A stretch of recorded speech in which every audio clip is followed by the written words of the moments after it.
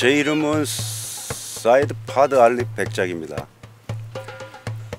한국에서 뭐 재미난 촬영을 한다고 해서 음, 아랍에서 한국으로 해외 로케로 어, 촬영을 위해서 넘어왔습니다.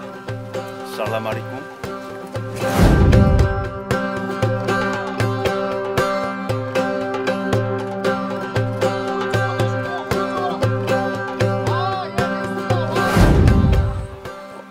누구나 다 뭐 같은 생각이겠지만은 원래 그 연어의 귀소 본능이 있듯이 처음이었었던 자기 뿌리에 대한 어, 그런 음, 그 인생의 여정 속에 가장 어, 자기가 둥지를 틀고 싶어 했던 곳이 바로 이 한국이 아닐까 아, 아마 표현을 좀 잘 해야 될 것 같아요. 어, 너무 무겁지도 그렇다고 가볍지도 않게 어, 일단 설거지를 할 필요가 없겠죠.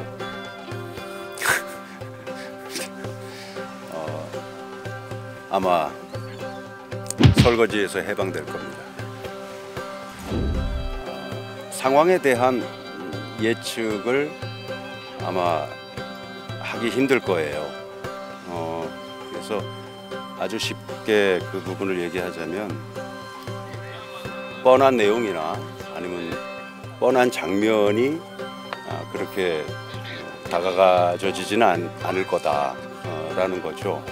모든 관계들이 참 굉장히 구조적으로 재미있게 어, 좀 서로 엮여 있고 또 그 안에서 일어나는 일이 굉장히 아마 좀 또 새로운 부분에서 다가갈 수 있는 작품이 아닐까라는 생각이 들죠.